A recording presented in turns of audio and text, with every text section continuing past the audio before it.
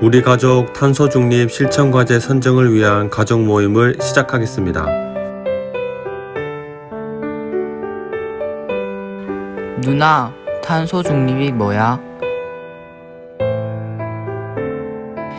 이산화탄소 순 배출량이 재료가 되는 것이야.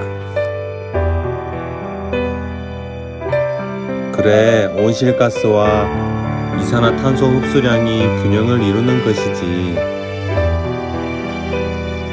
탄소 중립은 5대 분야 실천 수칙이 있어. 아버지, 어머니, 이- 그게 뭐예요?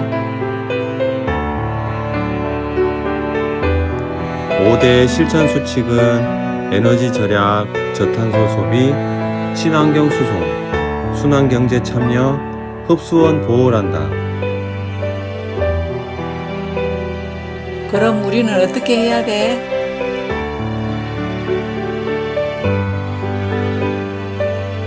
저는 자전거로 등교하고 컴퓨터를 덜 사용할래요.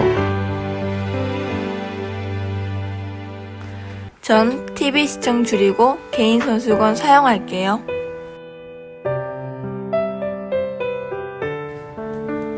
가정에서는 음식물 쓰레기 줄이기, 세탁기 횟수 줄이기, 장바구니 이용하기 등이 있지. 나는 난방 온도 낮추고 냉방 온도 높일 거야.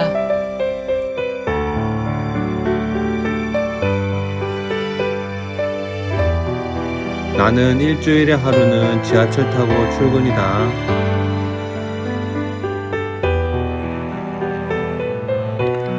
해마다 나무 심기를 하자. 것보다 실천이 중요해 것보다 실천이 중요해요. 하는 것보다 실천이 중요해요. 그래 맞다. 우리 가족은 탄소 중립 가족이네.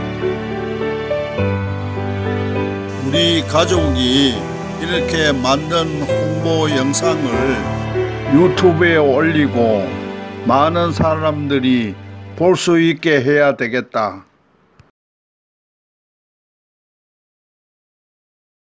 Mm-hmm.